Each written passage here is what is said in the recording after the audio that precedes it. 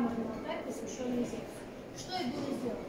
Но за столетия алтарь стал разрушаться, уходить под землю. Пергам вообще со временем стал территорией Турции. В 19 веке турки к себе позвали немецких инженеров для дорожных работ.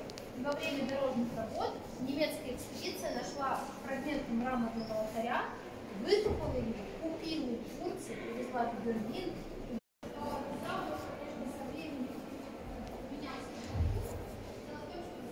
Второй век до нашей эры, на минуточку.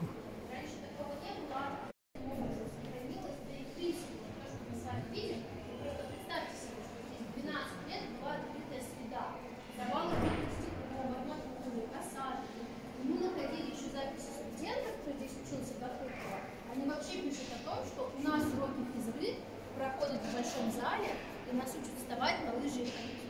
То есть там внизу то ли можно было покатать, то ли каток плитка сохранилась. Что вы знаете о качестве о качестве проверенной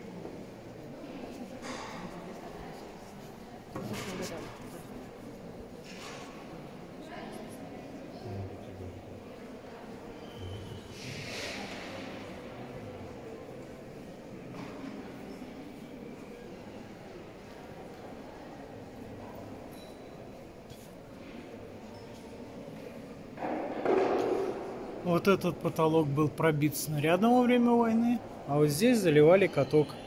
Замечательно.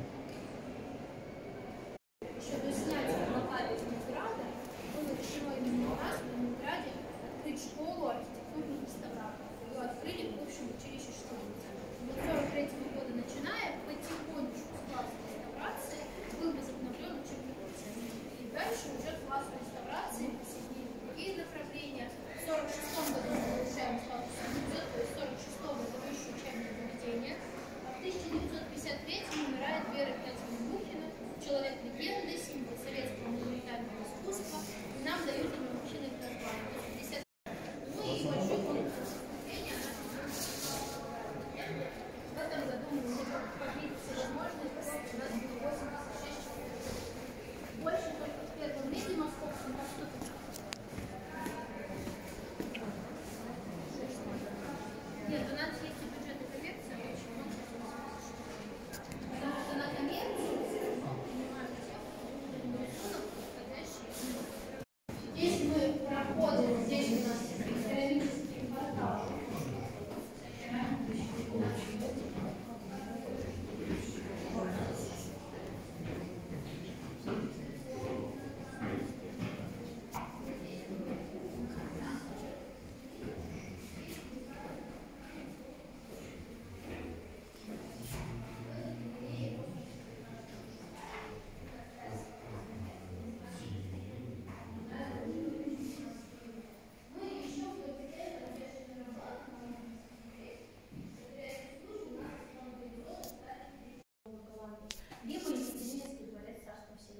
то, что мы с вами здесь видим, это на самом деле уже не чистокровные голландцы, потому что а голландцы очень любили побыть, синие пигменты. Голландцы, которые прямо привезены из Голландии, они сине-белые, голубые. А у нас в России это связано с открытием Малахита на Урале. Была явная старостишка зеленых лазурей, очень много именно зеленых печей.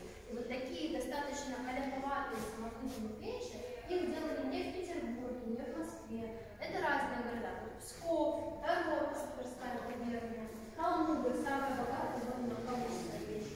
Еще одна не местников, но эта печь уже покрыта бело-оловянной глазурью, а вот то, что мы тут с вами видим, оно более дорого и более сложно производилось еще в 18 столетии.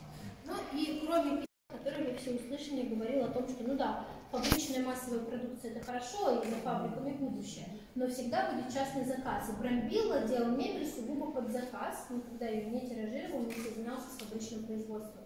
И данный шкаф его собирали 15 лет как спецзаказ для штаб-квартиры ордена иезуитов в Ездре. А потом так вышло, что орден стал переезжать, они продавали дорогую мебель, шкаф был выставлен на торге и оказался в нашем музее. То есть это сокровище,